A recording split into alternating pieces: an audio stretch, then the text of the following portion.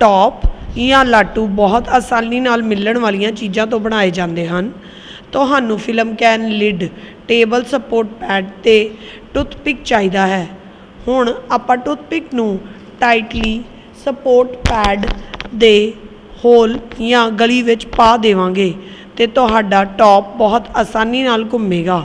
ਤੁਸੀਂ ਉਸ ਨੂੰ ਥੋੜਾ ਜਿਹਾ ਘੁਮਾਓ ਤੇ ਉਹ ਟੌਪ ਬਹੁਤ ਦੇਰ ਤੱਕ ਘੁੰਮੇਗਾ। ਹੁਣ ਤੁਸੀਂ ਫਿਲਮ ਦੇ ਸੈਂ ਫਿਲਮ ਕੈਨ ਦੇ ਸੈਂਟਰ ਵਿੱਚ ਗਲੀ ਕਰੋ ਤੇ ਉਸ ਨਾਲ ਟੁੱਥਪਿਕ ਜੋੜ ਦਿਓ। ਇਹ ਬਹੁਤ ਵਧੀਆ ਤਰ੍ਹਾਂ ਘੁੰਮਦਾ ਹੈ।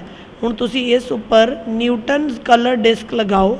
ਜਦੋਂ ਇਹ ਘੁੰਮੇਗਾ ਤਾਂ ਸਭ ਰੰਗ ਦਿਖਣਗੇ ਤੇ ਇਹ ਸਾਰੇ ਤੁਹਾਨੂੰ ਸੁਰਮਈ ਚਿੱਟਾ ਰੰਗ ਦਿਖੇਗਾ। ਹੁਣ ਦੋਵੇਂ ਟੌਪਸ ਨੂੰ ਇਕੱਠੇ ਘੁਮਾ ਕੇ ਦੇਖੋ ਤਾਂ ਖੁਸ਼ ਹੋ ਜਾਓਗੇ। ਮਜ਼ੇਦਾਰ ਹੈ।